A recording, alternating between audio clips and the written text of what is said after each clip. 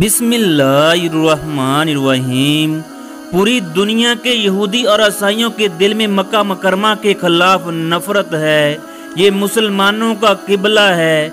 जब हज़रत आदम इस दुनिया में तशरीफ़ लाए और उनकी तौबा कबूल हुई तो उन्होंने सबसे पहले अल्लाह का घर तामीर किया। फिर तूफ़ान नू आया। फिर काबा के निशान मुनहिद हो गए। अल्लाह ताला ने खाना काबा की खूबसूरती के लिए जन्नत से एक पत्थर उतारा। जिसका नाम हजर असवद है।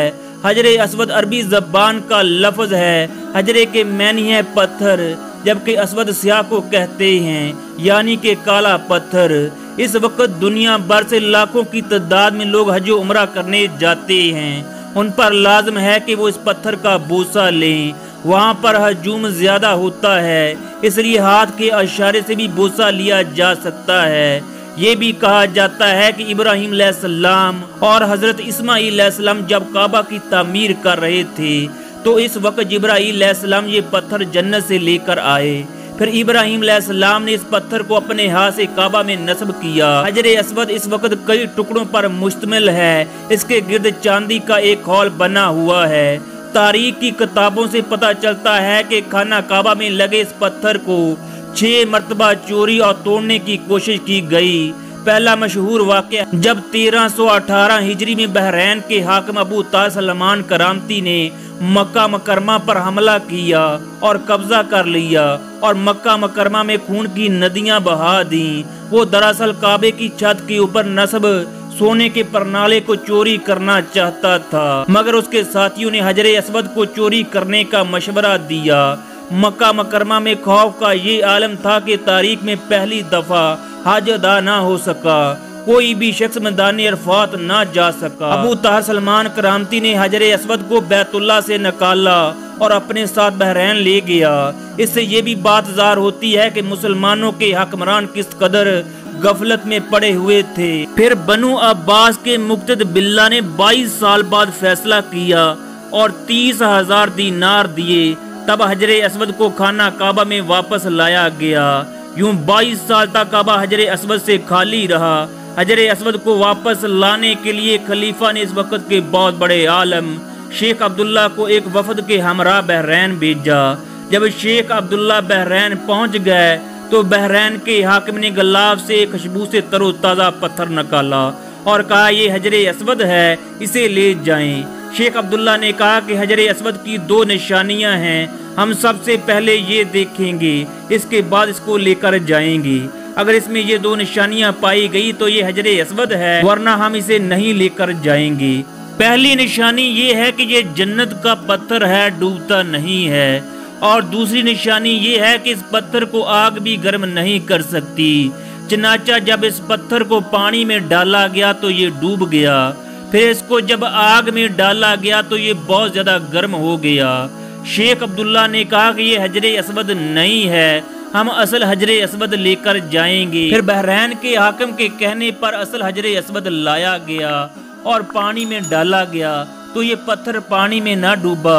जब आग में डाला गया तो बिल्कुल वैसे का वैसा था, गर्म ना हुआ।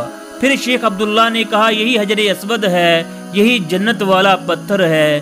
जब इस जन्नत वाले पत्थर को मक्का लाने के लिए एक ऊँटनी पर लादा गया, हालाँकि ये ऊँटनी बहुत कमज़ोर थी, लेकिन इसने इस कदर तेज भागना शुरू कर दिया कि जल्दी से जल्दी बैतुल्ला पहुँच जाए। तारीख में ये भी लिखा गया, जब बहरैन के हाकिम ने इस पत्थर को निकाला और एक ऊँट पर लादा तो वो मर गया हती के बहरैन पहुँचने पर चालीस ऊँटों ने इसके बोझ तले जान दे दी।